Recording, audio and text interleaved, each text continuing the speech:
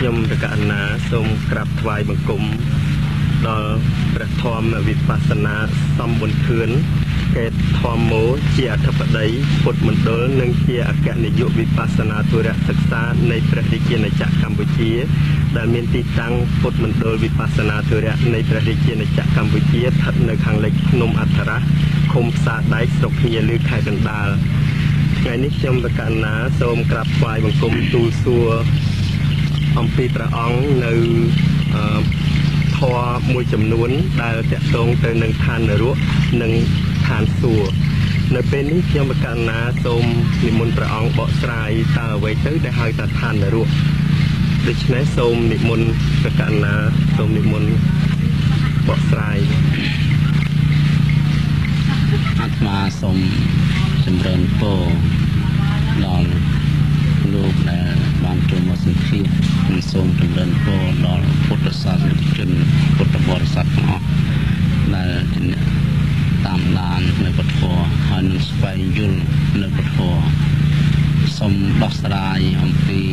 បញ្ហារឿងឋាននរកហើយនិងឋានសួគ៌ព្រោះថានៅក្នុងបច្ចុប្បន្នកាលនេះគឺមនុស្សម្នាក្នុងលោក គ្រប់សតបមណៈតែងតែនាំគ្នានិយាយអំពីឋានរស់ហើយនិងឋានសួគ៌ហើយពាក្យនេះជាពាក្យកំបាំងផងរហូតដល់នរជនខ្លះបដិសេធដល់មិនជឿថានឹងមានមកអំពីវិពុវិស័យនៃការគិតតែកត្តាទី1សូមបកស្រាយអំពីឋានរស់មុន ហើយឋាននរកនេះបើយើងនិយាយទៅតាមភាសាបាលីនរកនរកហ្នឹងគឺជាបាលីទីដែលហៅថានរកៈនរកៈហ្នឹងគេប្រែថារណ្ដៅរណ្ដៅគឺជាឋានមួយ ដែលជាកន្លែងមួយដែលទុកទៅដោយពពួកសត្វដែលគ្មានបុណ្យណាព្រោះនរកហ្នឹងមានន័យថាជាប្រទេសនាំសត្វទៅគឺជាកន្លែងដែលគ្មានបុណ្យអញ្ចឹងពពួកសត្វណា ដែលទៅអាស្រ័យនៅក្នុងឋាននរកនោះគឺពពួកសត្វនោះមានទុក្ខវេទនាជាទម្ងន់មានទុក្ខវេទនាជាទម្ងន់ហើយនរកនេះបើពោលឲ្យជាក់ច្បាស់ឲ្យមែនតែនហើយឲ្យឃើញច្បាស់មែនតែនទៅនរកបច្ចុប្បន្ននិងវរៈលោកមានពីរនរកបច្ចុប្បន្ននេះយើងអាចប្រៀបបានដែលព្រះសម្ដែងថាមនុស្សហាក់ដូចទៅរស់នៅក្នុងឋាននរកគេហៅថាមនុស្សនិរិយកោ គឺបើយើងសំដៅក្នុងបច្ចុប្បន្នមកគឺកន្លែងពន្ធនាគារគឺជាមន្ទីរឃុំឃាំងនឹងមកណាព្រោះឋានហ្នឹងមិនមែនជាកន្លែងរស់នៅដោយសេរីទេ ជាកន្លែងគ្មានសេរីហ្មងណាជាគ្មានកន្លែងគ្មានសេរីมันអាចទៅធ្វើនៅអំពើណាបានតាមចិត្តអស់គឺជាមនុស្សដែលទៅជាប់នៅក្នុងពន្ធនាគារគឺជាអ្នកមានកំហុសហើយត្រូវបរិយាអាញាឬក៏ត្រូវបរិជា ធ្វើនៅកម្មកណាហៅកម្មករណៈកម្មកក្នុងទីហ្នឹងគឺគឺតនកម្មហ្នឹងមករនកម្មដល់អំពើដូចជាមានវិធីវាយចងឬក៏កាត់ក្បាលកាត់ដៃកាត់ជើងឬក៏ដុតនៅក្នុងភ្លើងអីសពសារពើអញ្ចឹងគឺថានិយាយមែនទែនទៅថាអ្នកដែលជាប់គុកណាជាប់គុកគុកហ្នឹងគឺជាឋាននរកហ្នឹងមកហើយក្នុងបច្ចុប្បន្នយើងនេះហើយនឹងប្រាក់លោកមិនខុសទេទេ នៅក្នុងប្រាក់លោកគេមានប្រយមរាជគេមាននិរយបាលនិរយបាលហ្នឹងគឺមានសិទ្ធិមានអំណាចណាស់ដើរប្រមូលសត្វដែលសាងនៅបបកម្មនេះយកទៅកាត់ទោសណាប្រយមរាជនោះអ្នកកាត់ទោសយ៉ាងណាមិញមនុស្សដែលជាប់ទុកទោសនៅក្នុងលោកតីនេះមុននឹងចូលទៅក្នុងតំបន់គេហៅឃុំខាំងជាពន្ធនាគារហ្នឹងគឺ គឺថាជាជាមនុស្សដែលត្រូវឆ្លងកាត់តឡាការតែគេត្រូវកាត់ទោសទម្ងន់ថាប្រហែលឆ្នាំប្រហែលឆ្នាំអីចឹងទៅអញ្ចឹងតឡាការក្នុងបច្ចុប្បន្នដូចប្រយុមរាជអញ្ចឹងណាដូចប្រយុមរាជនៅក្នុងទេវលោកអញ្ចឹងប្រាក់លោកអញ្ចឹងហើយអ្នកដែលរសាគុកអ្នកដែលធ្វើទរណកម្មដល់ពុននៅក្នុងឃុំឃាំងទាំងបាមានដូចជាពួកនិរយបាលនៅក្នុងប្រាក់លោកដែរ អញ្ចឹងបានន័យថាបើយើងប្រៀបធៀបនៅក្នុងបច្ចុប្បន្នឲ្យឃើញថានរុនៅក្នុងបច្ចុប្បន្ននឹងមានអត់ឲ្យនៅតាណានឹងសូមសូមយល់ចុះថាទៅតាមកាពីពុទ្ធសាសនាបានសពបញ្ជាក់ឲ្យឃើញថានរុក្នុងបច្ចុប្បន្នគឺមានមកណាគឺមនុស្សគឺចោះចោះនរុក្នុងបច្ចុប្បន្នទាំងមិនដឹងខ្លួនហើយនរុបច្ចុប្បន្នគឺស្អីខ្លះគឺមន្ទីរឃុំឃាំងកន្លែងគេដាក់គុកធ្វើទរណកម្មសពបែបសពយ៉ាង នឹងអាត្មាសុំដំណើររឿងមួយគេហៅចោះនរុបច្ចុប្បន្ននឹងដំណើរពីសម័យព្រះយោមានមានរឿងមួយមានរឿងមួយគឺគួរឲ្យកត់សម្គាល់គឺរឿងនាងសមាវតីសមាវតីនឹងមានស្ត្រីម្នាក់ឈ្មោះថានាងកន្តយាហើយរាជាអង្គនោះឈ្មោះថាបបាទស្ដេចឧទែនឧទែននឹងមានប្រពន្ធ3គឺនាងនាង កន្តយានាងនាងសមាវតីមួយ ហើយនាងវិសិលតតាមួយ ហើយនឹងនាងនៃកន្តយាមួយហើយនាងកន្តយានឹងជាមនុស្សមានចិត្តប្រទុះសរាយនឹងព្រះដល់បទុសរាយនឹងព្រះមិនបានក៏ទៅបទុសរាយនឹងនាងសមាវតីដែលជាប្រពន្ធទី1ដែលជាពុទ្ធបរិស័ទរបស់ព្រះហើយខ្លួនអត់មានសាសនាទេម្ល៉េះរកវិធីកិច្ចកលដើម្បីនឹងសម្លាប់នាងសមាវតីនេះប៉ុន្តែរកវាមិនបានវិធីអីទៅក៏ចេះតែបរាជ័យវិធីអីទៅក៏ចេះតែបរាជ័យទាំងអស់ទីបំផុតគឺសម្រេចចិត្តគឺត្រូវតែសម្លាប់ចោលដោយវិធីដុតសម័យថ្ងៃមួយគឺនាងសមាវតីនឹងគាត់ឡើងទៅអង្គុយកម្មដ្ឋានចម្រើនសិលនៅប្រាសាទជាន់ខាងលើ ព្រោះជាមហេសីស្ដេចហើយនាងកណ្ដយាននេះខំណាស់គុំណាស់ក៏ទៅយកឪពុកមាននឹងឲ្យមកធ្វើពិធីគេហៅថាបលីកម្មបូជាជីវិតពួកហ្នឹងក៏នាំគ្នាយកកណាត់សនឹងយកមករុំទៅសយចាក់សាំងដុតមកដល់ដុតទៅក៏អស់អាយុសង្ខារទៅអស់អាយុសង្ខារទៅដឹងដល់ស្ដេចបានគេហៅតែនេះគាត់ប្រើល្បិចកិច្ចកលដើម្បីស្វែងរកចិត្តកលអ្នកសម្លាប់ ពេលនោះគឺប្រើវិធីល្បិចគឺថាបរិជាលោកទៅជាសោយសបាយថាណានាគេឲ្យគួយចិត្តល្អម្ល៉េះមកសម្លាប់នាងសមាវតីដែលអញធុញទ្រាន់យូរហើយប៉ុន្តែរកឱកាសដើម្បីនឹងសម្លាប់នឹងវាមិនបានណាវាមិនបានដល់វាមិនបានឥឡូវនឹងមាននរណាគេមកសម្លាប់ជំនួសអញ្ចឹងគឺល្អណាស់នាងកណ្ណយានឹងក៏ជាមនុស្សល្មោបដោយអំណាចផងហើយជាមនុស្សភ្លេចខ្លួនក៏សារភាពត្រង់ថា ខ្ញុំនឹងជាអ្នកសម្លាប់នាងសមាបតីនឹងជាអ្នកដុតបានបរិជាអង្គនោះលោកពូលថាដូច្នេះនាងយើងត្រូវតែសងគុណនាងហើយព្រោះនាងបានសម្លាប់មនុស្សដែលយើងអត់ចូលចិត្តអញ្ចឹងនាងត្រូវទៅប្រមូលក្រុមយិត្តនាងទាំងអស់យកមកដើម្បីយើងជូនវ័នយើងធ្វើវិធីជប់លៀងមួយ ហើយក្នុងសម័យនោះ នាងកនយើងក៏បានទៅប្រម៉ែប្រមោកបងប្អូនបកើតបងប្អូនចដូនមួយរហូតដល់នៅស្រុកខ្លះដែលមិនជាប់ពាក់ព័ន្ធនឹងនឹងត្រូវជាបងប្អូនទេប៉ុន្តែដោយសារចង់បានលុយកាក់មាសប្រាក់វិស្ដេចក៏ចោះឈ្មោះធ្វើជាបងប្អូនដែរហើយដល់ពេលអញ្ចឹងដល់ពេលប្រមូលមកគេមកជប់លៀងអញ្ចឹងទៅស្ដេចបានកាត់ទោសណាដាក់រិទ្ធអញ្ញាតែម្ដងនឹងចោះនរោះណាចន់រោះស្ដេចដូចពយមរាជអញ្ចឹងគឺថា ឲ្យគេចងចងក្រុមញាតរបស់នាងកណ្ដយាតទាំងអស់យកទៅកប់យកទៅកប់នៅក្នុងដីហើយកប់កប់ធឹមកកទាំងអស់ហើយយកច្បើងទៅដុតឲ្យដល់ដុតហើយអញ្ចឹងទៅយកនឹងគល់ដៃព្យួរក្បាលនឹងហ្មងនេះនេះឯងឈ្មោះថានរកបច្ចុប្បន្ននៅឋានមនុស្សអ្នកដែលមានកំហុសសម្រាប់គេធ្វើឃាតកម្មឃាតករប្រហារជីវិតមនុស្ស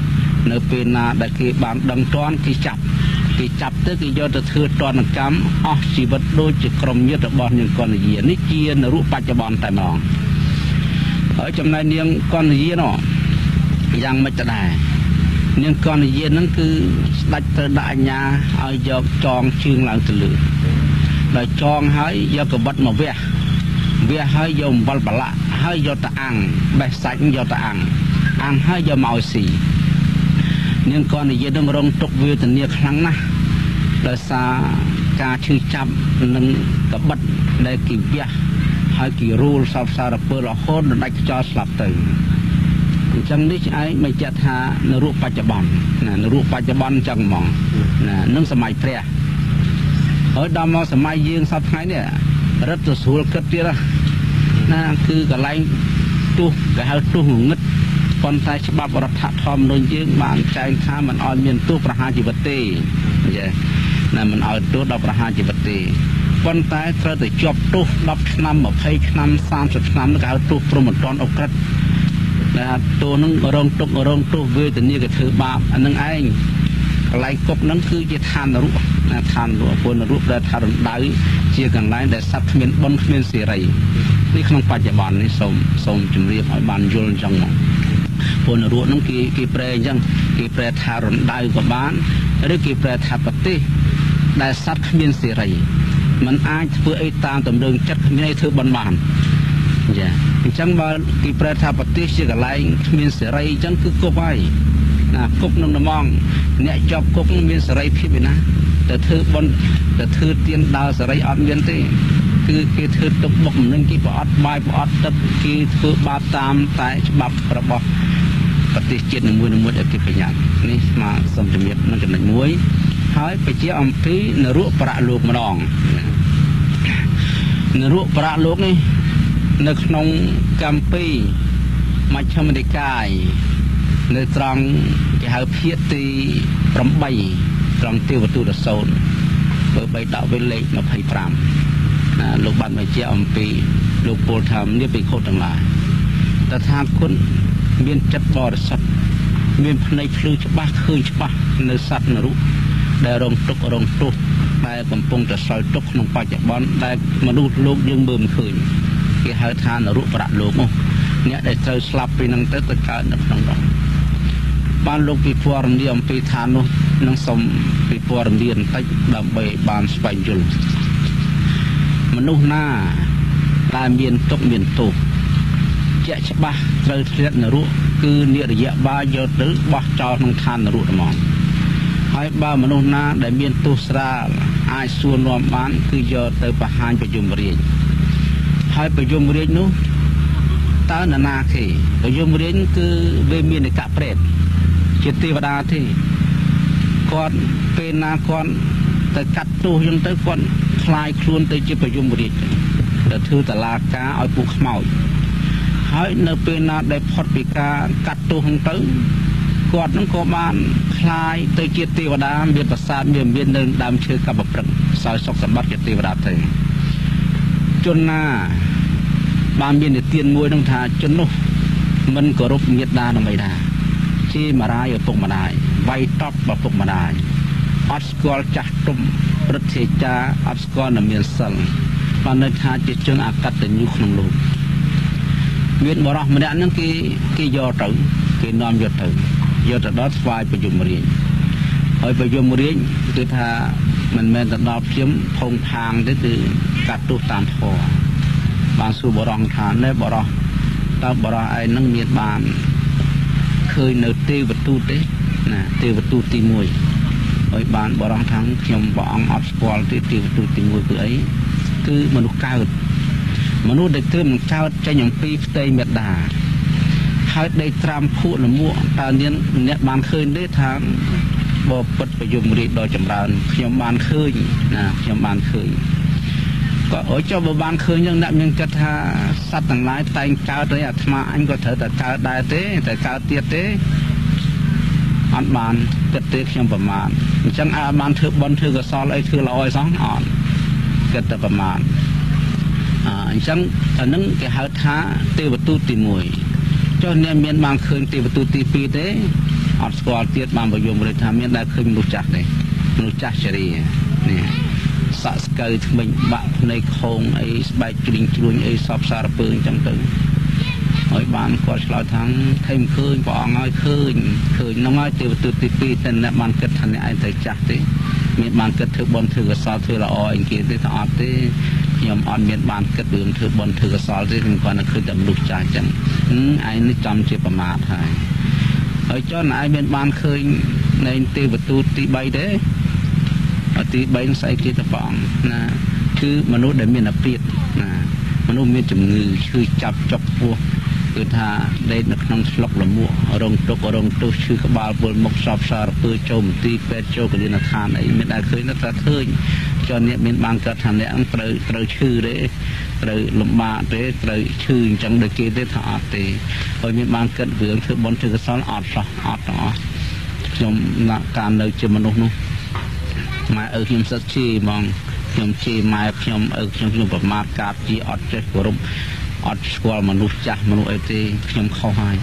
អើឥឡូវឯងប្រមាថឯងបាបកម្មឯងចុះឯងមានបានឃើញទេវទូតទី4ទេ ថាទេវទូតទី4ស្អីគេទៅព្រះអង្គទេវទូតទី4គឺមនុស្សស្លាប់អាទី4គឺមនុស្សដែលជាប់អញ្ញានៅពេលដែលពួកចៅទាំងឡាយលួចទ្រព្យសម្បត្តិមហាជនហើយនៅស្រុកពួករាជបរោះគេបានចាប់យកទៅបណ្ដាលហើយស្ដេចយកដាក់អាញាយកទៅសម្លាប់យកទៅកាត់ក្បាលទុកទោសសោកសារពើតើអ្នកមានបានឃើញនេះថាបានឃើញឃើញភ្នែក ចុះអ្នកមានបានគិតថាខ្លួនអ្នកនឹងត្រូវទទួលតនកម្មបែបនេះទេថាអត់បានអត់បានគិតផងហីបើចឹងណែឯងប្រមាទទៀតហើយអត់បានធ្វើបន់សោះហើយចុះទេវទូតទី5ទី5អ្នកមានបានឃើញទេទី5គឺមនុស្សស្លាប់ហើមប៉ោងទៅតាណាក៏មានស្លាប់ស្លាប់គូជន់ស្លាប់ពោះចិត្តស្លាប់កបីវត្តស្លាប់ខ្យល់គោមានដែរបានឃើញថាបានឃើញព្រះអង្គបានឃើញចឹងអ្នកមានបានគាត់ថាអ្នកត្រូវស្លាប់ទេអត់ទៀត អញ្ចឹងក្នុងចំណោមទេវទូតទាំង5អ្នកបានឃើញទាំងអស់អ្នកមានបានគិតថាអ្នកត្រូវជួបអញ្ចឹងអត់ដែរបានគិតទេអ្នកមានបានធ្វើនៅអំពើល្អក៏អត់ដែរអញ្ចឹងទោសទាំងអស់នេះដែលអ្នកមើងងាយមេត្តានឹងបៃតាមើងងាយបងបងមនុស្សចាស់មិនគ្រប់ចាស់ទុំប្រមាថមើងងាយដល់ជនតីហើយសាងតែអំពើបាបកម្មតាមយ៉ាងគុណអញ្ចឹងទុកទោសនេះអ្នកត្រូវចាំទៅគឺអ្នកត្រូវធ្វើដោយខ្លួនឯង មានដាបេដាគេមិនប្រើឯងទេភរិយានបុតគេមិនបានប្រើអីទេគឺឯងស្ម័គ្រចិត្តធ្វើការធ្វើនៅបាបកម្មដាក់ចំពោះខ្លួនឯងដើម្បីដើម្បីបំរើជនដទៃអញ្ចឹងឯងគ្មានបនគ្មានកសលអីដើម្បីនឹងជួយទេយើងបរិបយមរីក៏មិននឹងជួយណែយ៉ាងមិនដែរព្រោះតឡាការបយមរីនេះវាជាតឡាការឯករាជ្យស្ថិតនៅក្នុងអំណាចនៃធម៌សុខមិនស៊ីសនុកសោប៉ាន់ឬជនណាឡើយ ពេលឯងគឺសัตว์គេបយមរីក៏បកគលភារកិច្ចនេះឲ្យទៅនិរយបាលនៅក្នុងស្ថានភាពនោះគួរឲ្យខ្លាចនិយាយអំពីឋានរូបដែលយើងមើលមិនឃើញតែព្រះលងមើលឃើញគឺតំបន់នោះជាតំបន់ដៅសុតហើយជាលក្ខណៈព្រៃហើយគួរឲ្យខ្លាចហើយឆ្ងាយអំពីតំបន់មនុស្សនេះរយៈបាលនឹងបានចាប់បរោះនឹងឯងចាប់ផ្ដេក ចាប់ផ្ដេកទៅយកដៃគូលបោះហៅកម្មករកម្មករហ្នឹងគឺបានន័យថារបស់របរដែលគេត្រូវធ្វើបាបសត្វនរកហ្នឹងយកដៃគូលបោះត្រង់ដើមដៃឆ្វេងដើមដៃស្ដាំហើយជើងឆ្វេងជើងស្ដាំហើយបោះចំកដាលធុងហើយដៃគូនឹងភ្លើងសុទ្ធណារងទុករងទុះក្តៅក៏ហល់កាហាយនឹងឈឺផ្សាពេញសរីរៈរាងកាយ បើសិនជាមិនទាន់អស់កម្មទេមិនស្លាប់ទេណាមិនស្លាប់ទេដល់គាត់នឹងសោយកម្មនឹងយូរបានពួកនិយរនិរយៈបាលហ្នឹងបានចាប់គាត់ដកដៃគោលចេញដល់ដកដៃគោលចេញហើយបានយកទៅប្តីហើយយកកបិតយកកបិតដូចបថៅអញ្ចឹងចាំងសាច់ទម្លាក់ណាមានសភាពដូចជាបុគ្គលចាំងឈឺអ្នកចាំងឈឺដើម្បីសក់យកសំណក់ចេញយ៉ាងណា ពួកនិរយៈបាលចាំងសាច់សត្វនរកនឹងក៏ដូចគ្នាក៏យ៉ាងនោះហើយបើមិនទាន់អស់បាបកម្មទេ គឺនៅតែនៅតែធ្វើអញ្ចឹងនៅតែចាំងអញ្ចឹងរហូតដល់បន្ទាប់មកនិរយៈបាលហ្នឹងពួកអ្នកធ្វើបាបសត្វនរកហ្នឹងក៏យកបរោះនេះជួជើងឡើងទៅលើណាចងជើងព្យួរយើងមើលក្នុងបច្ចុប្បន្នដូរគេចងជើងមន់ព្យួរយ៉ាងចងជើងឈូកព្យួរយ៉ាង យើងទៅទីផ្សារទៅឃើញគេចងព្យួររណេងរណោងដូចគ្នាណាដូចគ្នាណានៅរូបប្រាក់លោកនោះហើយដល់ពេលចឹងទៅគេយកកំបិតព្រានជាសាច់ជាស្បែកទម្លាក់ទម្លាក់ទៅនៅសល់តែឆ្អឹងហើយដុសសាច់វិញហើយអត់ចេះងាប់ទេណាជាយ៉ាងម៉េចក៏មិនងាប់ដែរលុះត្រាតែអស់កម្មបានស្លាប់ដល់ផុតពីនឹងមកនិរយៈបាលបានយកសត្វនរកនេះឲ្យទឹមនឹងរត់ដែក មានរត់ដែកមួយជាប្រការរំដៃហើយសុទ្ធភ្លើងទាំងអស់ហើយផ្លូវដែលត្រូវធ្វើដំណើរបរត់ហ្នឹងគឺសុទ្ធតែភ្លើងទាំងអស់ម្ល៉េះហើយសត្វនរកណាដែលមានកម្មដែលត្រូវគ្នានឹងក៏ចិត្តតែនាំគ្នាអូសរត់នឹងអូសទៅអូសមកនៅក្នុងភ្លើងក្តៅក្រហល់ក្រហាយរងទុករងទូឈឺផ្សាមិននឹងគិតធ្វើម៉េចនេះនិយាយអំពីទុកវេទនារបស់សត្វនរកក្នុងប្រាក់លោកហើយដល់ពេលអស់ចិត្តអស់ចង់ទៅក្រោយមកទៀតគេឲ្យបរោះនឹងឡើងភ្នំ ឡើងភ្នំដូចជាភ្នំអន្តរោះហ្នឹងប៉ុន្តែភ្នំហ្នឹងភ្នំភ្លើងទេនេះភ្នំភ្លើងនេះអញ្ចឹងមកយើងត្រូវវិចារណាអំពីរឿងភ្នំភ្លើងណា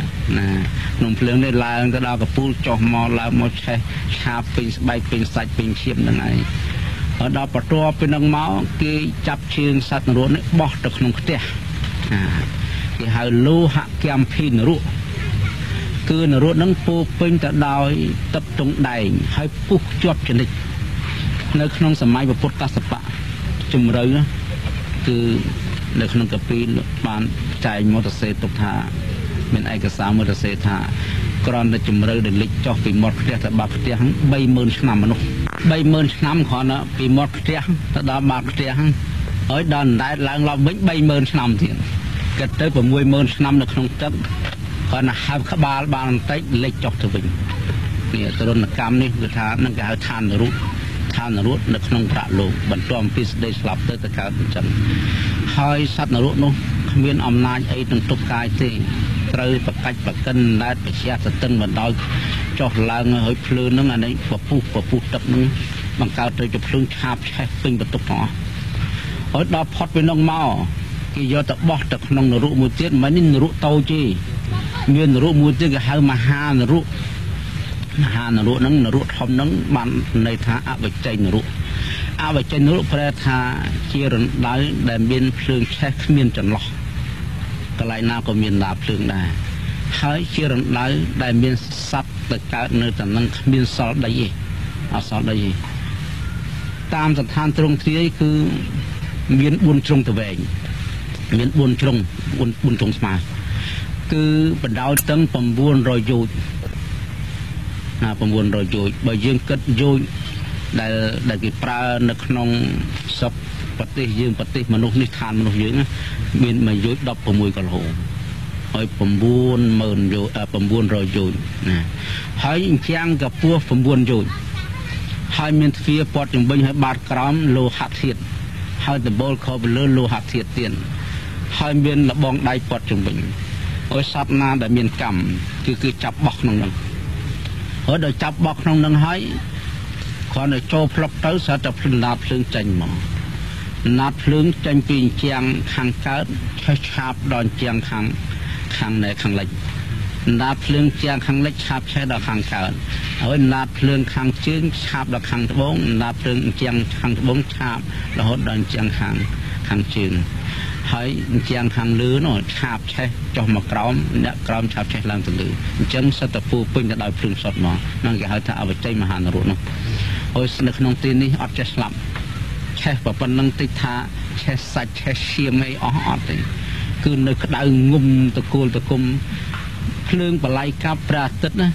ដល់ពេលអនាគតទៅឆេះឆេះផែនដីនឹងអស់ឋាននឹងអត់ឆេះទេ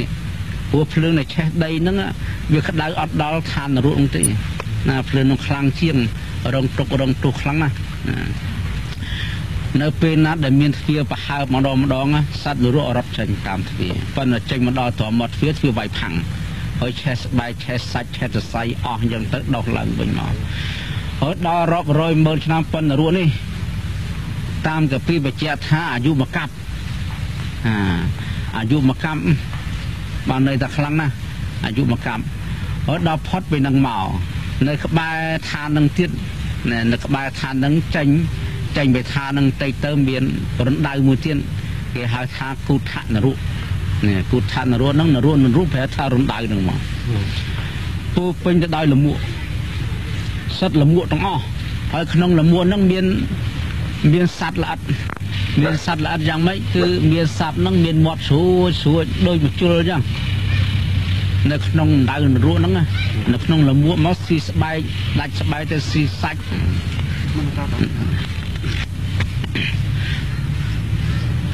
ហើយសត្វហ្នឹងគឺស៊ី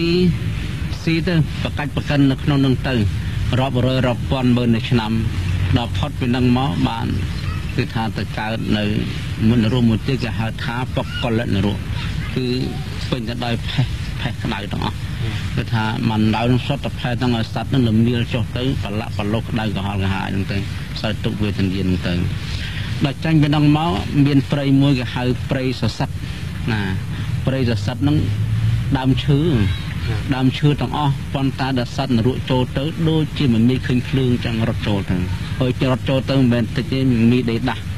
រត់ចូលទៅស្លឹកនឹងត្រូវឆ្លោះម្ដងកាត់តិចកាត់ដៃកាត់ជើងបកាច់បកិនរងទុកវេទនា តែមិននឹងទៅមានឈើមួយគេហៅថាព្រៃរកាដែលចាស់ចាស់និយាយថាឡើងអាការដែក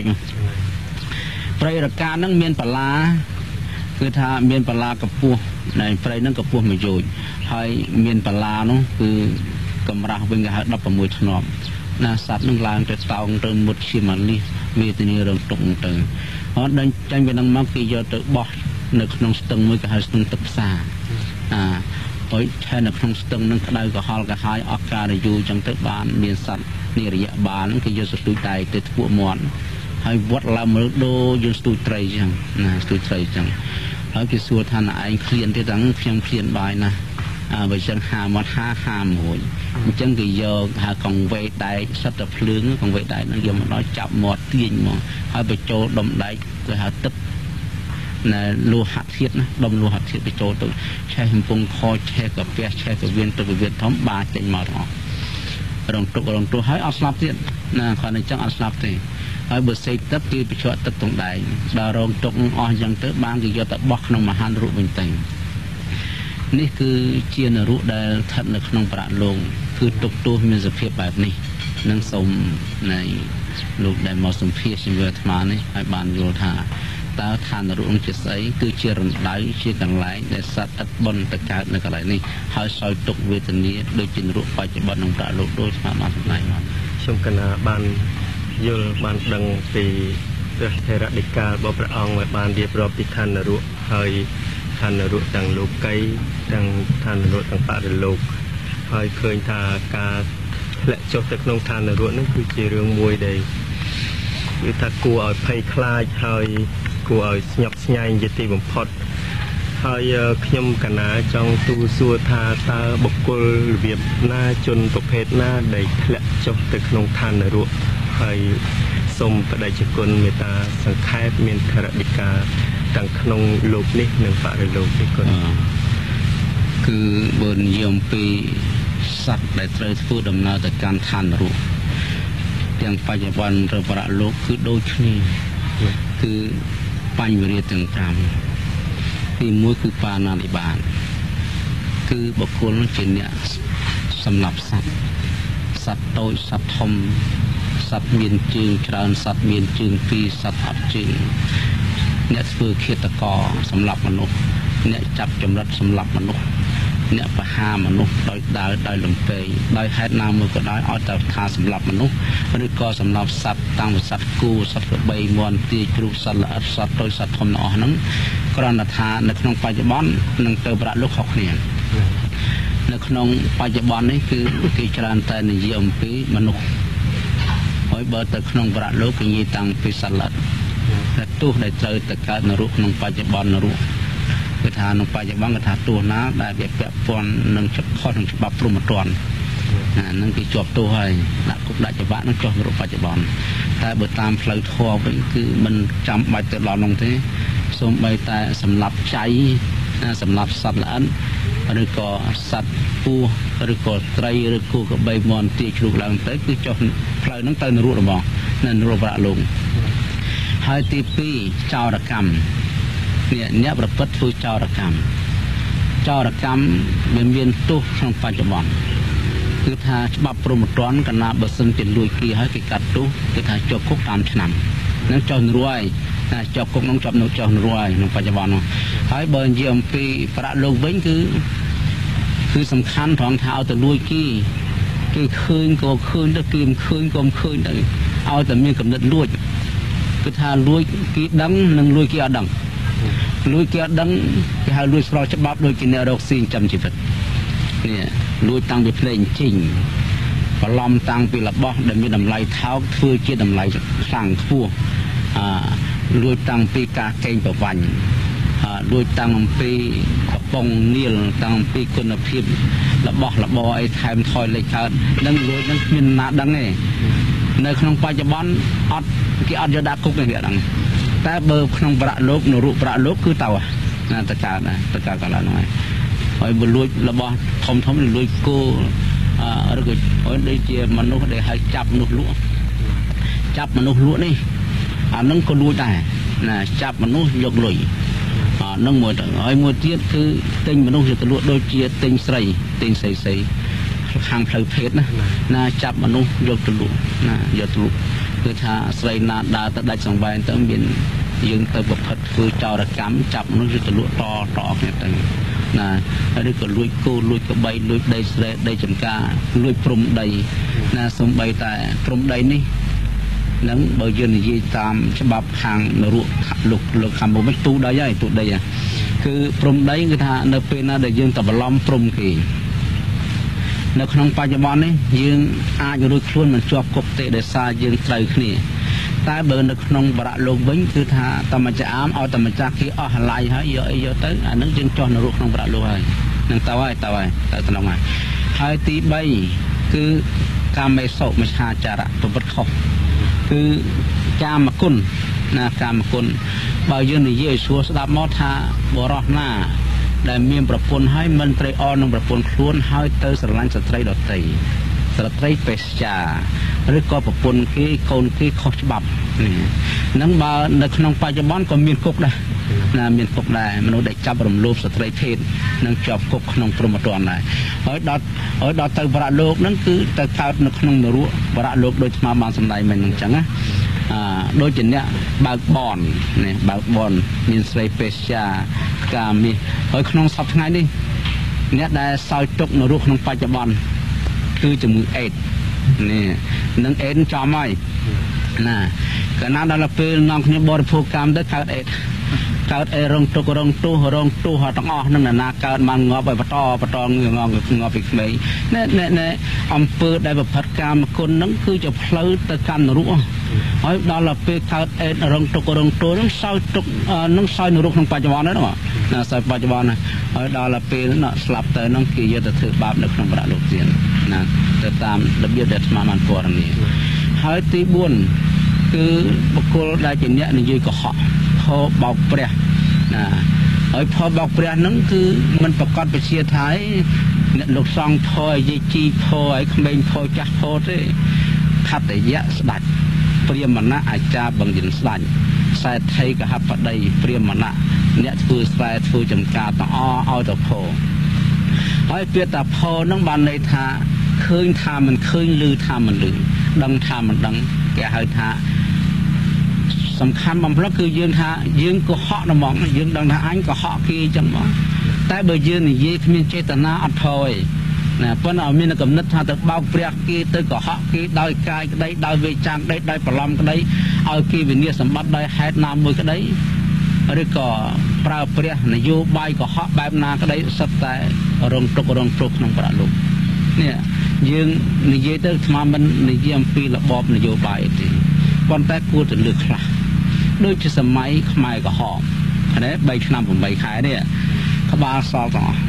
ឆ្អឹងសល់ទាំងអស់មកអំពីថាមកអំពីគោលនយោបាយដែលយើងដឹកនាំពីមុនមកវាខុស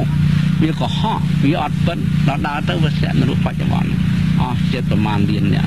សន្ធឹកសន្ធាប់ណាស់អញ្ចឹងអញ្ចឹងអ្នកណាសាងនៅអំពើហ្នឹងត្រូវតែជាប់ទោសសាលាការត្រូវជាកាត់ទោសនេះសំស្របណាស់នេះគឺឃើញហ្មងឃើញណា ហើយទី5សូរាផឹកទឹកស្បឹងនេះនៅក្នុងបច្ចុប្បន្នគេមិនដែលយកមនុស្សផឹកស្រាសដាក់គុកទេគេថាដូចជារឿងសាមញ្ញធម្មតាប៉ុន្តែបើនិយាយពីនរុក្នុងវរៈលោកវិញភ្លើងឆេះមាត់គឺថាការឡើងភ្លើងឆេះមាត់មកហើយទលោមាត់នឹងឆេះតាំងពីកាពះពវៀនទៅពវៀនធំឡើងទៅនឹងនរុក្នុងវរៈលោកដោយសារសូរានឹងដែរអញ្ចឹងអញ្ចឹងមកន័យថាទោសដែលកើតឡើង5ខនេះ សម្រាប់លួចឆក់ប្រព្រឹត្តខុនចាមភូតផកកុហកផឹកទឹកស្វឹងទាំង5ខនេះឯងគឺជាលក្ខណៈមួយដែលឲ្យបង្ហាញថាមនុស្សនឹងគេហៅមនុស្សនរុមនុស្សធ្វើដំណើរទៅកាន់នរកក្នុងបច្ចុប្បន្នទៅប្រាក់លោកណាខ្ញុំកណាបានដឹងបន្តទៀតហើយថាជនណាដែលបានទទួលនៅអឺចុះឋាននរកទាំងលោកីទាំងបរលោកហើយគឺថានិគុណមាន ធរដីកាមកថាអ្នកដែលដាច់សិល5និគុណណាដៃសិលណា5ដាច់សិល5អឺដូច្នេះហ្នឹងហើយអឺខ្ញុំកណាសូមថ្លែងអំណរគុណដែលគុណបានបកស្រាយពីនរកអ្នកដែលទទួលផលកម្មខ្លួនដែលបានប្រព្រឹត្តហើយទទួលផលជានរកនៅក្នុងបច្ចុប្បន្ននិងអនាគត ហើយសរុបមកគឺអ្នកដែលដាច់សិល5នឹងឯងដែលបានចុះទៅឋាននរកដែលទទួលផលកម្មនេះដូច្នេះខ្ញុំបកណាសូមក្រាបថ្វាយបង្គំទូលសួរព្រះគុណជាតទៅទៀតថាដូចដើមដើម្បីឲ្យខ្លួនប្រានយើងរស់នៅក្នុងគេថាកិរិយាកើតជាមនុស្សជាការកម្រនោះ ដូច្នេះយើងបានកើតជាមនុស្សហើយយើងត្រូវតែធ្វើម៉េចដើម្បីជៀសវាងអំពើអបាយមុខនេះហើយកុំឲ្យខ្លួនយើងចុះនរកទាំងបច្ចុប្បន្នទាំងបរិលោកនេះដូច្នេះសូមរិគុណមេត្តាផ្ដល់ធរតិកាទានសូមនិមន្តបាទស្មាសូមដោះស្រាយគឺសំខាន់ណាស់ចំណុចនេះគឺថាវាតកតងពីបច្ចុប្បន្នផងហើយនឹងប្រាក់លោកផងធម៌ពុទ្ធជាម្ចាស់ ដែលបានត្រួតពិនិត្យទៅគឺបើសិនជាយើងចង់ឲ្យផុតទុក្ខខ្លួនយើងក្នុងបច្ចុប្បន្ននឹងទៅបរលុកកុំឲ្យធ្លាក់នរកនៅក្នុងបច្ចុប្បន្នប្រាក់នោះគឺកាន់សិល5នោះណាគឺត្រូវតែនាំគ្នាឈប់ឈប់សម្រាប់សត្វទៅ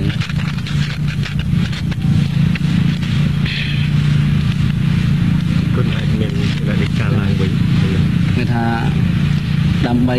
ឲ្យខ្លួនយើងផុតអំពីនរកក្នុងបច្ចុប្បន្ននឹងទៅប្រាក់លោកគឺបុគ្គលម្នាក់ម្នាក់ត្រូវតែកាន់សិល5ទី1គឺឈប់សម្លាប់គឺថាបើមានកិច្ចការអីគឺយើងត្រូវតែទូនមានមានបដៅគ្នាដោយចិត្តមេត្តាបើសិនជា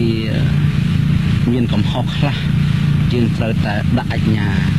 ដោយការខត់ខាំងតែកុំធ្វើទរណកម្មដល់ផ្លូវកាយហើយទី2 គឺយើងកាន់សិលធនិទានរកស៊ីចិញ្ចឹមជីវិតអ្វីគឺទៅតាមកម្លាំងសមាអាជីវៈតាមសតិតាមប្រាជ្ញា បានតិចហូបតិចបានច្រើនហូបច្រើនបើសិនជាយើងខ្វះខាត យើងត្រូវទៅសុំគេកុំធ្វើចោរកម្មហើយមនុស្សទាំងឡាយណា ដែលមានទ្រព្យកាលណាបើយើងបានឃើញថាមនុស្សនោះក៏អត់ពិតមែនដោះស្រាយគ្មានអនត្តភាពទេយើងគួរតែជួយសង្គ្រោះណា ជួយសង្គ្រោះគេធ្វើម៉េចឲ្យគេចេះរស់នៅឲ្យគេបានរស់នៅល្អផងនឹងទី2ហើយទី3គឺយើងត្រូវតែសម្ដែងការស្មោះត្រង់នៅក្នុងភរិយានិងស្វាមីបើបរោះបើមានប្រពន្ធហើយគួរតែស្រឡាញ់តែប្រពន្ធខ្លួនទៅណាកុំឲ្យទៅឆាយឆើតដល់ប្រពន្ធកូនអ្នកផ្សេងបើស្ត្រីគឺស្មោះត្រង់នឹងប្តីរបស់ខ្លួននឹងបានសុខសន្តិភាពហើយផុតចាកនរកហើយហើយទី4ត្រូវនិយាយអីនិយាយពិត ដល់និយាយពិតព្រោះទៅគឺជឿបានហើយទី5កុំផឹកទឹកសបឹកគឺសូរ៉ានិងមេរ៉ៃគឺយើងកុំផឹកទឹកសបឹកមានតែសិល5នេះទេកាលណាបើនរជនណា បានកាន់សិល5នេះនរជននោះគ្មានទោសកំហុសនៅក្នុងច្បាប់គឺថាច្បាប់ព្រមព្រមត្តនរបស់រដ្ឋទេមិនមិនមិនស្ទាក់នរកក្នុងបច្ចុប្បន្នទេហើយនរជននោះទៀតក៏មិនបានស្លាប់ទៅតែកើតនៅក្នុងនៅនរកក្នុងប្រាក់លោកដែរហើយថែមទាំងបានទៅកើតខាងសួគ៌ថែមទៀតផង ហើយម្យ៉ាងទៀតអាត្មាបានគិតពិចារណាសពគ្រប់ទៅឃើញថាបើសិនជាមនុស្សទាំងអស់នាំគ្នាកាន់តែមេត្រា5គឺសិល5នេះ គឺប្រទេសត្រូវបានសុខសន្តិភាពហើយមានអភិវឌ្ឍអសុខសន្តិភាពយ៉ាងម៉េចហើយចុះបើសិនជាបរដ្ឋនៅក្នុងដែននីមួយៗក្នុងភូមិក្នុងឃុំក្នុងស្រុកនៅក្នុងប្រទេសនាំគ្នាមិនសម្លាប់គ្នាទៅវិញទៅមកមានតែមេត្តាធម៌ រកស៊ីស្មោះត្រង់គ្មានធ្វើចោរកម្មអញ្ចឹងផ្ទះទាំងឡាយគេមិនបាច់ចាំបិទទ្វារទេគេមិនបាច់ចាក់សោតព្រោះវាគ្មាននរណាលួចនរណា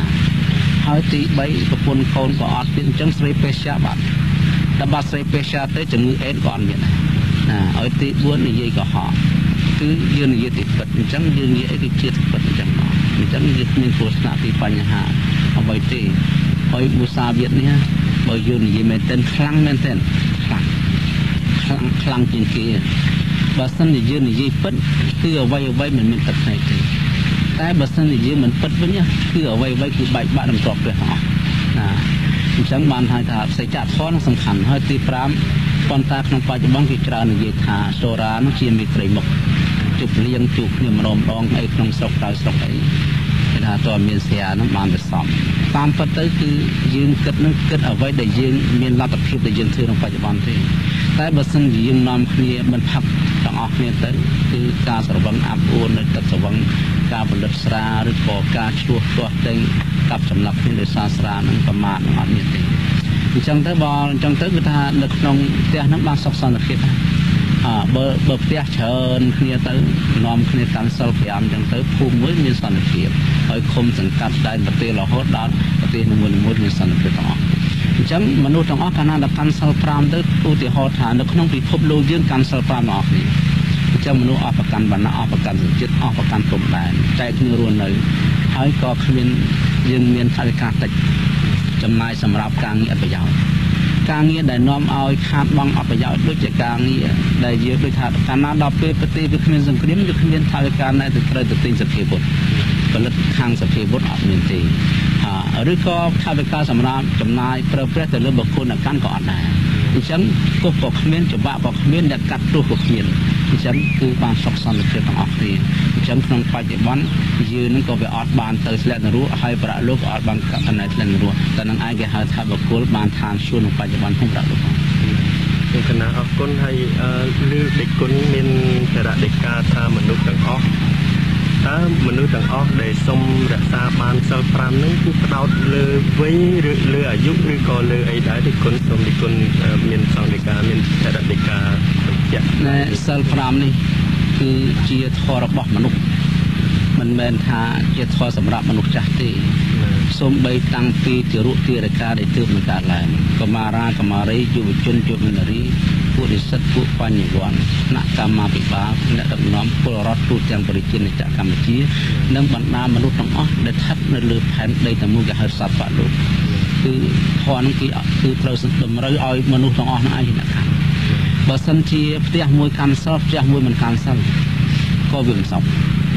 ប្រទេសមួយកាន់សិលប្រទេសមួយមិនកាន់សិលក៏វាមិនសមចាបើអញ្ចឹងទៅវាមិនសមទេបើតតទាំងអស់គ្នានឹងនាំនៅកាន់សិល5ហ្នឹងទេហើយដល់មនុស្សទាំងអស់កាន់សិល5ទៅមេត្តាច្បាប់រដ្ឋធម្មនុញ្ញវាកាន់តែតិច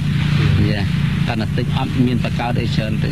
ហើយបើសិនជាមនុស្សទាំងអស់ហ្នឹងមិនកាន់សិល5ទេនឹងច្បាប់ច្រើនណាស់សម្រាប់ទប់ទល់មនុស្ស ណាច្បាប់ចិត្តកោតទៅបន្តិចបញ្ញត្តិខាងនេះបន្តិចបញ្ញត្តិខាងនោះមកពីតែរឿងខូចរឿងខលនឹងទាំងអស់ហ្នឹងឯងអញ្ចឹងបានន័យថាបើសិនជាកាំងសិលគឺសំដៅយកមនុស្សគ្រប់វ័យបឋមវ័យមជ្ឈិមវ័យនិងបច្ឆិមវ័យហើយសិលហ្នឹងសូមជម្រាបផងដែរថាដូចច្រឡំថាអេសិលហ្នឹងតទៅវត្តខ្ញុំនៅក្មេងទៅសុំសិលមិនកើតអត់ទេសិលនេះសិល5ហ្នឹងមិនមែនសិលសម្រាប់អ្នកទៅនៅវត្តទេគឺសិលគេហៅថាសិលសម្រាប់រក្សាធាតុរបស់ខ្លួនជាមនុស្សពិត គេហៅថាមនុស្សសពូតោមនុស្សពិតប្រកបនឹងល្មងគឺសិលហ្នឹងគ្រាន់តែតាំងចិត្តទេជួបដើរទៅជួបសត្វមានជីវិតគេមិនសម្លាប់គេមិនខ្លាយខ្លួនទៅជាអ្នកសម្លាប់មនុស្សអគេរកស៊ីទៅតាមកម្លាំងគេឲ្យគេមានប្រពន្ធមានប្តីមានកូនគេឲ្យគេនិយាយត្រឹមត្រូវឲ្យគេផឹកតែផឹកស្ករផឹកគេសិជាផ្សេងផ្សេងទៅតែប៉ុណ្ណឹងឈ្មោះតែគេមានសិលគេហៅសិលធម៌សម្រាប់សង្គមខ្ញុំបកករណាសូមក្រាបថ្វាយបង្គំ ដល់ព្រះធម្មវិបស្សនាសម្ពុទ្ធឿនកេតុធម្មោជាអធិបតីពុទ្ធមណ្ឌលនិងជាអគ្គនាយកវិបស្សនាទុរៈសិក្សានៃព្រះរាជាណាចក្រកម្ពុជា ដែលមានទីតាំងនៅពុទ្ធមណ្ឌលវិបស្សនាទុរៈនៃព្រះរាជាណាចក្រកម្ពុជាស្ថិតនៅខាងលិចភ្នំអត្តរៈភូមិសាដៃស្រុកញាលឺខេត្តកណ្ដាល នៅក្នុងគិនេះខ្ញុំបកករណាសូមក្រាបថ្វាយបង្គំទូលសួរអំពីដែលពាក្យហៅថាសួរគាតើពាក្យនេះអឺជាភាសាបាលីឬក៏ជាភាសាអីហើយពាក្យនេះមានអត្ថន័យយ៉ាងណា មានខ្លឹមសារយ៉ាងណាសូមប្រជាគុណនិមន្តមេត្តាបកស្រាយគុណ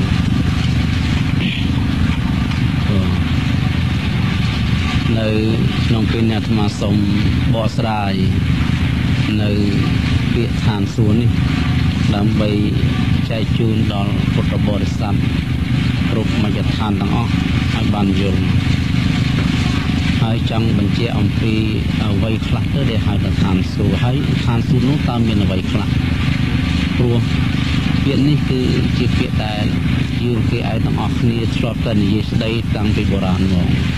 សូម្បីតែកុមារាកុមារីនឹងក៏ធ្លាប់និយាយស្ដីពាក្យថាឋានសួគ៌នេះដែរអ ញ្ចឹងពាក្យថាឋានសួគ៌នេះ គឺយើងនិយាយមកជាភាសាខ្មែរយើងទៅហើយហើយធម្មរភាសាភាសាខ្មែរយើងប៉ុន្តែបើយើងអានទៅតាមកំណត់សព្ទវិញគេហៅមិនមែនជាភាសាខ្មែរទេតែវាសំស្ក្រឹតអំវិញណាគេសង្សង្ស្ក្រឹតមកគេហៅហៅថាសូរកៈណាចេញវាសង្ស្ក្រឹតអំវិញហើយកន្លែងនេះបើយើងពូល ថាអ្វីទៅដែលជាឋានសួគ៌តើឋានសួគ៌នោះគឺសំដៅយកស្អីអញ្ចឹងក្នុងឋានសួគ៌នេះគឺសំដៅយកឋានទេវតាជាទីលំនៅជាពិភពឬថាជាប្រទេសរបស់ទេវតាតែម្ដងព្រោះនៅក្នុងលោកយើងនេះបើយើងពោលអំពីពិភពវិញគឺវាមានដល់ទៅ31ជាន់ហ្នឹង គឺកាមភពហ្នឹងគឺមាន11ជាន់មាននរកប្រេតអសុរកាយដេរឆានឋានមនុស្សហើយនឹងឋានសួគ៌ហ្នឹង6ជាន់គឺមានទេវតា6ជាន់ហ្នឹងហ្មងនឹងកាមភពយើងមាន11ជាន់ហើយនឹងឋានព្រំព្រំហ្នឹងមានដល់16ជាន់គឺព្រំដែលអត់មានរូបហើយនឹងអរូបព្រំហ្នឹងដែលជាព្រំអរូបហ្នឹងមាន4ជាន់អញ្ចឹងក្នុង36ជាន់ហ្នឹងគឺមានឈ្មោះឋាន6ជាន់ដែលហៅថាឋានសួគ៌ ជួនកាលលោកប្រើពាក្យថាឆកម្មាវជ្រៈសួរឆកម្មាវជ្រៈសួរហ្នឹងគឺបានន័យថាជាកន្លែងស្រុកទេវតាជាប្រទេសរបស់ទេវតាតែលោកបញ្ញត្តិថាឋានសួគ៌ហ្នឹងដូចជាយើងពាក្យថាបញ្ញត្តិថាឋានមនុស្សឬក៏បញ្ញត្តិថានៃឋានអបាយភូមិអញ្ចឹងទៅអញ្ចឹងកន្លែងនេះជាកន្លែងនាំមកនៅសេចក្តីសុខព្រោះទេវតាទាំងអស់ ដែលទៅអាស្រ័យនឹងឋានសួគ៌នោះគឺអត់មានសកម្មភាពអីទេគឺជាអ្នកទៅសោយសុខមកអញ្ចឹងយើងសួរថាតើឋានសួគ៌នៅណានេះបើយើងនិយាយវាឋានមនុស្សយើងយើងមើលឃើញមនុស្សយើងនឹងគឺមានប្រទេសអាមេរិកកាំងប្រទេសអូស្ត្រាលីឬក៏អាស៊ីអឺរ៉ុបនិងប្រទេសនេះទៀតឡើងនឹងឡើងគឺថាយើងទាំងអស់គ្នានឹងមើលឃើញតែដោយឡែកឋានសួគ៌នឹងគឺតែ នាំគ្នានិយាយតតគ្នាទៅបើជាពិសេសគឺមានក្នុងកម្ពីណាមានក្នុងកម្ពីគេថាឲ្យតែឃើញនៅភ្នែកហ្នឹងរមឃើញសូម្បីតែលោកនៅវិទ្យាសាស្ត្រដែលមានគឺថាយន្តហោះទំនើបទំនើបដើម្បីធ្វើដំណើរស្វែងទៅរកខាងសួននោះរមឃើញទេព្រោះថានោះបើតាមជាពីពុទ្ធសាសនាដែលអាត្មាភាពបានស្រាវជ្រាវនៅក្នុងអត្ថកថារបស់ធម្មសង្កនី ណាលោកបានបញ្ជាក់អំពីឋានសួគ៌នោះច្បាស់លាស់ណាស់គឺថាឋានសួគ៌គឺផុតពីជំនាញផែនដីមនុស្សយើងសពថ្ងៃនេះគេហៅផែនដីអ្វីអ្វីដែលនៅព័ទ្ធជាមួយផែនដី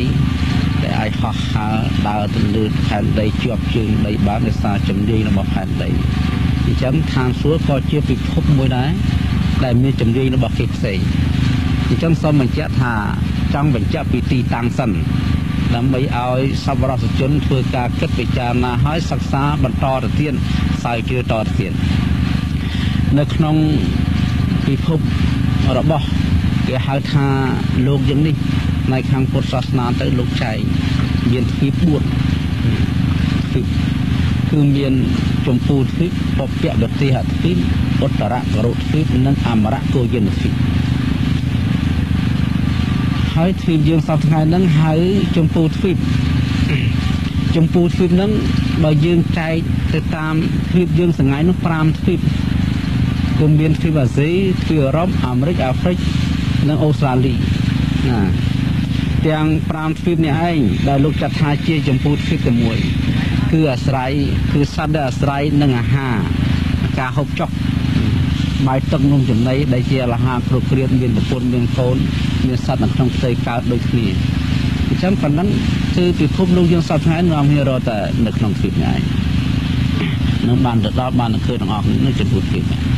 ហើយមានទ្វីបមួយទៀតគេហៅថាពពកវតិហទ្វីបទ្វីបនឹងនៅនីយោនៅខាងកើតណាគឺខាងកើតផ្ទប់ហើយយើងនេះនៅខាងនៅខាងត្បូងភ្នំហើយនៅខាងជើងតំបន់ខាងលិចមួយទៀតគេហៅថាអមរៈកូយិនទ្វីប ហើយនៅខាងជើងគេហៅឧត្តរករុទ្វីប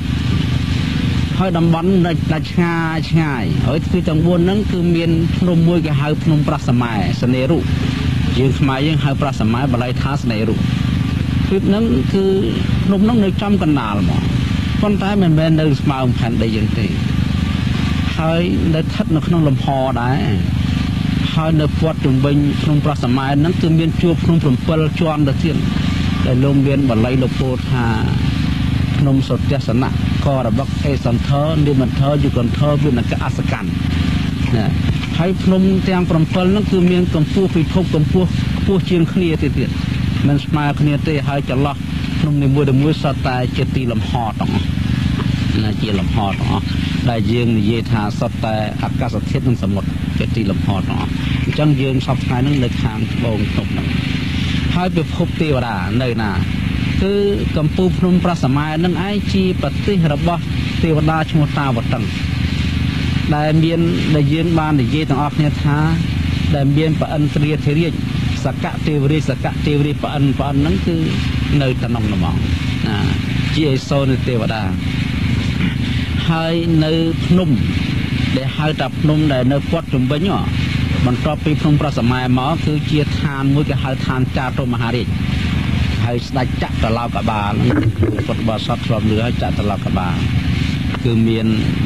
ស្ដេចថតរតវរុលកៈវរុបខៈកវេរៈណាគឺថាស្ដេចទេវតាទាំង4ហ្នឹងគឺនៅតំបន់តាមភ្នំដែលនៅព័ទ្ធជំវិញភ្នំប្រសម័យហ្នឹងហើយភ្នំប្រសម័យហ្នឹងនៅបាតភ្នំគឺនៅបាតភ្នំប្រសម័យហ្នឹងមិនមែនចិត្ត ចិត្តដូចជាភ្នំអត្រឹសចឹងទេប្រហោងក្រោមទេ មានកំពូលភ្នំគេហៅភ្នំត្រៃកោត្រពីខាងក្រោមមកហើយនៅខាងក្រោមភ្នំនោះគឺជាពិភពមួយដែលហៅថាតំបន់របស់មានស្ដេចមួយគេហៅស្ដេចបុព្វចិត្រាសូជាជាប្រទេសរបស់ពួកអសុលណាពួកអសុលគេហៅដែលយើងនិយាយថាពួកអសូរិកាយដែលជាប្រព័ន្ធរបស់ពួកយក្សគឺថាស្ដេចរបស់គេនៅបាតភ្នំហ្នឹងឯង ហើយកំពូលភ្នំខាងលើគឺជាតំបន់របស់ស្ដេចទេវតាមួយឈ្មោះថាតាវតង្ស័កនឹងទេវតានៅក្នុងឯងហើយទេវតាដតីដតីទី6ជាន់ក៏នៅតាមរបៀបក្នុងទៅជាលំដាប់ណយហោហែនទៅដូចជានៅក្នុងពិភពលោកយើងអញ្ចឹងណាណានឹងជាបើយើងនិយាយទៅគឺថាជាពិភពរបស់ទេវតាបើយើងសពថ្ងៃហ្នឹងគេហៅពិភពលោកពិភពលោករបស់មនុស្សហើយទៅហ្នឹងគឺជាពិភពរបស់ទេវតាហ្នឹងហ្មងណាទេវតា អញ្ចឹងបានអាត្មាចង់បញ្ជាក់ថាទិសដៅទីតាំងរបស់ពួកនោះនៅណាហើយកន្លែងនោះវាផុតជំនាញផែនដីយើងហើយ ការព្រះជាម្ចាស់លោកដែលបានត្រាស់ដឹងហើយទៅប្រោះពុទ្ធមេដានៅឋានតាវតង់នោះនោះទៅនៅលើកពូលភ្នំនោះហើយដល់ពេលព្រះអង្គព្រលឹមឡើងលោកចុះមកពីឋាននោះមកមកខ្ពុលព្រះអស់មកជំរះបកាយហើយព្រះអង្គទៅបិណ្ឌបាតនៅទ្វីបខាងជើងហើ យឧត្តរករុទ្វីបហើយពួកនោះបើយើងនិយាយអំពី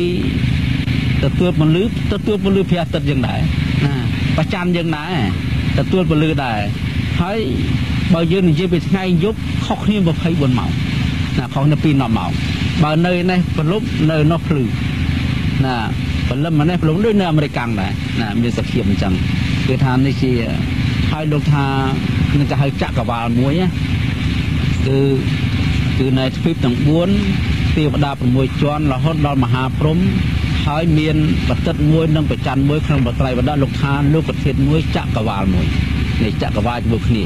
ពាក្យថាចក្រវាលជាមួយគ្នាហ្នឹងគឺពិភពទាំងអស់ហ្នឹងត្រូវទទួលយកបន្លឺព្រះអាទិត្យព្រះច័ន្ទដូចគ្នាណាដូចគ្នា មានបតិតមួយ មានប្រច័នមួយ មានប្អិនមួយណាមានប្អិនមួយគឺថាអ្នកគ្រប់គ្រងទ្វីទាំង4នេះហើយបន្ទាប់មកគឺមានចក្រឡោ នឹងបើយើងនិយាយអំពីពិភពសុខរបស់ទេវតានៅក្នុងប៉ុន្តែនៅនៅក្នុងមនុស្សលើយើងនេះក៏មានពិភពទេវតាដែរណាទេវតាដែលជាសាខាគឺថាទេវតាមានច្រើនលោកពោលថាអាកាសទេវីអរុក្ខទេវីភូមិទេវីរាមទេវីវ័នទេវី ទេវតាខ្លះនៅនឹងដើមឈើធំមួយមួយមួយមានប្រសាទមានមានដូចជាដើមពោដូចជាដើមជ្រៃដើមរាំងធំធំធំអញ្ចឹងគេហៅអរុក្ខទេវតាបើយើងមើលអត់ឃើញទេរូបពួកនឹងល្អិតណាស់សង្ឃុំរូបណាយើងយើងសួរថាហេតុអីបានយើងមើលទេវតាមិនឃើញហើយសួរថាហើយហេតុអីបានយើងមើលខ្យល់ឃើញណាយើងសួរចឹងខ្យល់ដែលបក់មកប៉ះកាយយើងយើងដឹងថាខ្យល់ដែលសាប៉ះឯង ប៉ុន្តែឲ្យយើងមើលឃើញថាខ្យល់ហ្នឹងវាពណ៌អីហើយវាណែតទៅវាអត់ឃើញដែរអញ្ចឹងសូម្បីតែខ្យល់ហ្នឹងមើលមិនឃើញហើយចម្រោមរូបទេវតាដែលល្អិតជាងខ្យល់ទៀតណាហ្នឹងគេហៅថាអរុគទេវាមួយហ្នឹងទេវតាដែលដែលអាស្រ័យនៅឋានមនុស្សហើយវ័នទេវតាទេវតានៅព្រៃស្រោងមានប្រាសាទមានមាននៅព្រៃស្រោងទៅហើយរាមទេវតានៅសួនច្បារអាហើយភូមិទេវតានៅភ្នំ ណានៅជួរភ្នំទាំងអស់នោះសុទ្ធតែមានទេវតានៅទាំងអស់អាកាសទេវានៅតាមវាលនៅតាមលំហអញ្ចឹងប៉ុន្តែយើងជិះយន្តហោះមិនដែរជួបផងណាមិនដែលជួបមិនដែលឃើញហើយមិនដែលឮសូត្រថាបានទៅប៉ះទេវតាឬក៏បុកទេវតាដែរមកគេថារូបគេល្អិតហ្នឹងគេមិនឲ្យបុកយើងគេមិនមិនឲ្យកប៉ាល់ឲ្យយើងទៅបុកទេណាគេមើលឃើញយើងប្រកាសតែយើងមើលគឺឃើញគេអត់ប្រកាសអានេះយកអំពីរូបទឹកទេវតារូបទឹកណា ហើយពួកនោះដែលហៅថាឋានសួគ៌នោះព្រោះអត់មានធ្វើស្រែចម្ការធ្វើកសិកម្មពាណិជ្ជកម្មឧស្សាហកម្មអត់ទេពួកនោះគឺមានសម្បត្តិទឹកគេថាសម្បត្តិទឹកគឺរបស់កើតឯងស្រាប់ស្រាប់ព្រោះទេវតាមានសម្បត្តិទឹក10ណាមានរូបទឹកសម្លេងទឹកក្លិនទឹករសទឹកគឺសម្ផស្សទឹកសេចក្តីសុខទឹកអាយុទឹកអធិបតេទឹកយុទ្ធបរិវត្តទឹកទាំងអស់ គឺថារូបទឹកគឺបើយើងនិយាយពីទេវតាវិញមកចង់បញ្ជាក់អំពីសម្បត្តិទេវតាដើម្បីឲ្យញាតិញោមពលបរិស័ទយល់គឺថាគឺកើតឡើងមកគឺអត់មានកើតនៅក្នុងផ្ទៃម្ដាយអាទុកទេគឺថាកើតឡើងមកគឺប្រមាណមនុស្សយើងអាយុ16ឆ្នាំគេហៅឧបបត្តិកទេវីទេវតានឹងគឺកើតឡើងឯងទៅនៅក្នុងកាហ្វេគឺព្រះជាម្ចាស់សម្ដែងមកក្នុងបេដកមកបានពិនិត្យទៅឃើញលោកថាទេវតាកើតឡើងមានក្របខ័ណ្ឌមកគឺ បើទេវតាណាដែលកើតនៅក្នុងកតុបដំណេកទេវតានឹងជាប្តីជាប្រពន្ធមិនមិនចាំទៅធ្វើចង់ស្ពានវិត្រីទេគឺថាសញ្ញាកម្មហ្នឹងគឺជាប្តីជាប្រពន្ធហ្មងនឹងបើយើងនិយាយភាសាខ្មែរវិញតែបើកើតនៅលើកផ្លូវគឺជាបុត្រាបុត្រីអត់អត់មានមិនគឺក្របខ័ណ្ឌចឹងមកហើយបើកើតតាមរបៀងតាមភូមិឋានតាមទឹកដីរបស់ខ្លួនគឺជាបរិវារណាការមកសម្រាប់បរិវារ បើយើងនិយាយនៅស្រុកខ្មែរយើងជំនុំថាកើតមកសម្រាប់ជាពលរដ្ឋណាជាពលរដ្ឋរបស់របស់ប្រទេសនឹងមួយៗនៃទេវតានោះទេវតានោះមានគេចែកកង្កន់ហ្នឹងទៅណាណាទឹកដីមានកលាគេទឹកដីនេះស្ដេចនេះសោរីទឹកដីនោះស្ដេចនេះសោរីដូចតែពិភពលោកយើងអញ្ចឹងនេះប្រទេសខ្មែរនៅប្រទេសថៃនៅប្រទេសវៀតណាមវត្តវិញអញ្ចឹងហើយមានព្រំដែនអញ្ចឹងហើយមានការពារហើយរសាអញ្ចឹងដូចគ្នាប៉ុន្តែទេវតាដែល គ្រប់គ្រងនៅតាមប្រទេសទាំងអស់ហ្នឹងគឺស្ថិតនៅក្រោមសកតិវិរិជាអធិបតីដូចគ្នានឹងមនុស្សលោកយើងដែរពិភពលោកយើងមានប្រធានាធិបតីមានស្ដេចគ្រប់គ្រងលើទឹកដីតាមប្រទេសមួយមួយតែកំពុងមានអង្គការសហប្រជាជាតិជាអ្នកគ្រប់គ្រងទៅលើប្រទេសទាំងអស់ដូចគ្នានេះប្រព័ន្ធគ្រប់គ្រងរូបទឹកកើតឡើងមកគឺធំមកមកសំឡេងទឹកគឺសំឡេងពីរោះយើងមិនបាច់ចាំស្វែងរកទៅឆ្នាំឯងដាក់សំឡេងទេ សំឡេងទេវតាគឺសំឡេងណាធំធំឯងព្រោះព្រោះឯងទុនទុនឯងឮតិចឮច្រើនឮដោយខ្លួនឯងទាំងអស់ហើយក្លិនទឹកគឺទេវតាទាំងឡាយមិនមានការស្វែងរកប្រេងម្សៅលាបលូនកាយទេគឺមានក្លិនក្រអូបចេញពីកាយតែម្ដងហើយរសទឹកគឺទេវតាដែលត្រូវមហូបអាហារគឺមិនស្វែងទៅរកទិញទីផ្សារទេគឺរបស់ហ្នឹងនៅពេលណាមានចំណង់ចង់ក្នុងអាហារគឺអាហារកាលឡើងខ្លួនឯងហើយបរិភោគខុសក្តារទៅ ហើយបើយើងយកអំពីសម្ផស្សទឹកគឺសម្លៀកបំពាក់គ្រឿងអលង្ការគឺការឡើងជាស្វ័យប្រវត្តិតិចច្រើនតាមបុតអត់មានជនណាទៅទិញពីជនណាគ្មានលុយសម្រាប់ចាយហើយគ្មានរបស់សម្រាប់ដូរគ្នាទេគឺវារស់នៅទៅតាមកម្លាំងបុណ្យរបស់គេហើយបើនិយាយពីអាយុទៅវិញទេវតាមានអាយុវែងណាទេវតាចាតុមហារាជខុសគ្នា50ឆ្នាំមនុស្សស្មើគេមកយប់មួយថ្ងៃ30ថ្ងៃគេមួយខែ 12ខែមួយឆ្នាំហើយគេអាយុ500ឆ្នាំស្មើនឹងយើង9លានឆ្នាំមនុស្សហើយដល់ទេវតាឋានតាវតឹងមកយប់មួយថ្ងៃយើងនៅមកយប់មួយថ្ងៃគេ100ឆ្នាំយើងអញ្ចឹង12ខែនៅ30ថ្ងៃគេមួយខែទៅ12ខែមួយឆ្នាំគេអាយុ1000ឆ្នាំស្មើនឹងយើង3ខោ9លានឆ្នាំហើយបើទេវតាឋានយាមមាវិញគុណនឹង4គុណនឹង4ឡើងហ្មងហើយបើឋានដោះសិតយើងនេះ400ឆ្នាំស្មើគេមិនយកមួយថ្ងៃទេ ហើយគេអាយុដល់ទៅ4000ឆ្នាំណាអញ្ចឹងស្មើនឹងយើង57កោត60សែនឆ្នាំអញ្ចឹងឃើញប្រមាណគុណនឹង4ឃើញឋានសួគ៌ទី5ហើយឃើញលទ្ធផលប្រមាណគុណនឹង4ឃើញឋានសួគ៌ទី6អាយុទឹកហើយអាយុនេះអត់មាន